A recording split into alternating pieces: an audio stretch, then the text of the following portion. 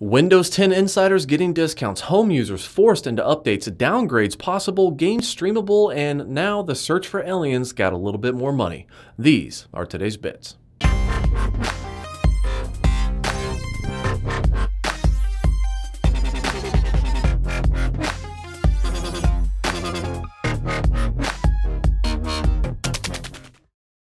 July 29th is right around the corner, so Windows 10 is all over the news. I, for one, am going to wait on my upgrade just to kind of see how things play out, but I can say that the preview builds that I've experienced have had a lot of good qualities and a few bad. One bonus to being an insider now is that I get 20% off PC hardware and accessories from Microsoft stores on the Windows 10 launch date. And if I'm one of the lucky ones, I might even be able to snag one of those free t-shirts that they're handing out.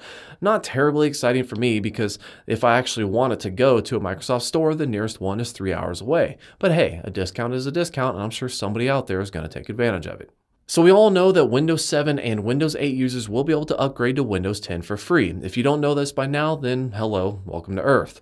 What we didn't know is that Microsoft is actually allowing people to reverse that decision for one month by giving people an option to restore back to the previous Windows version. This is only available for a month, so if you do your upgrade, make sure that you really like it before that expires. Personally, I hope this actually works out for people because in my experience with Windows Restore, those rollbacks usually break more things than they actually fix fix. To be honest, I gave up on that a long time ago after a few bad issues. I only now rely on weekly disk backups that my computer do automatically. But if it works out, then maybe it'll save people from their impulse decisions. Either way, it's cool that they're at least making this an option. Speaking of options or lack thereof, they have decided to force all Windows Home users into all updates. People who have the actual home version of Windows 10 will get updates automatically and right away, while people with the Pro version can technically decline an update, it only is good for 8 eight months. Enterprise users, though, will have the option to ignore updates altogether, which actually makes a lot of sense in that environment. In one hand, I think this is actually a great idea because there's so many security breaches that come from unpatched computers owned by careless or clueless people. I, for one, have a long list of Windows updates that still are waiting to be installed because well, I hate restarting my computer. But on the other hand, I feel like this should be one of those things that are enabled by default, maybe even without any installation options or notifications, but if the user wanted to, they could control them manually. Not because I have any reason not to update, but I swear if I wake up one day and find out that all of my windows were force closed because of some stupid update that I didn't agree to, I will pirate the shit out of Windows 10 Enterprise. I'll do it. I don't care if I've already paid for Windows. I restart on my own time, not on yours.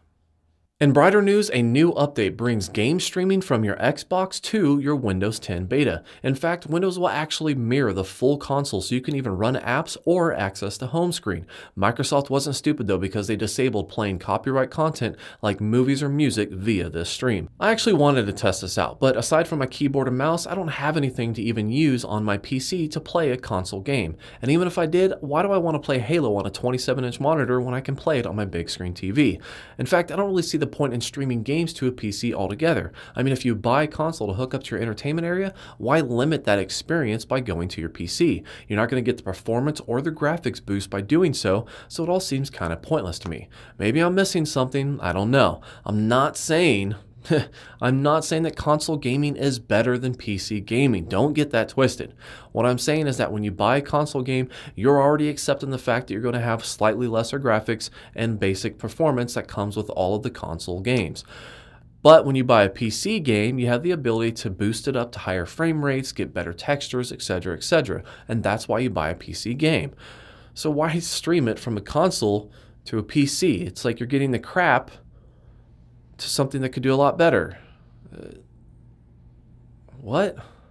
On a topic other than Windows 10, the search for aliens has just gotten a boost in funds. Some Russian business guy named Yuri Milner has donated $100 million to help find signs of alien communications. The funds will be used by purchasing time on two of the world's largest radio telescopes that can search for frequencies less sensitive to the pollution of Earth's current activities. Then they want to build equipment and hire astronomers to sift through all of that data. With all of these upgrades, they will be able to scan 10 times more of the sky than previous efforts, and they'll be able to process data 100 times faster. They're going to focus on electromagnetic signals that should only come from intelligent life rather than worrying about finding microscopic bacteria on asteroids. Not that that's bad either, I'm just saying it's a lot cooler. This is awesome, and I really hope that they find something. I have no doubt in my mind that life exists somewhere else. I just think that we have to find it. Consider this photo. Albeit a couple years old, it shows the distance our own radio waves have traveled since the beginning of our electronic era. That's 200 light years in every direction. The first signal powerful enough to make it to space was broadcasted in 1936. So in less than 80 years, we already have a couple hundred light years of travel under our belt. Imagine an alien planet that has had broadcast ability for hundreds hundreds or thousands of years.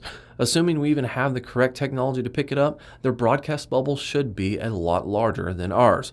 What do you think? Do aliens exist? Is this a waste of money? Let me know in the comments. If you believe in aliens, then like this video. If you think that we are alone in this universe and everything revolves around us, then dislike it.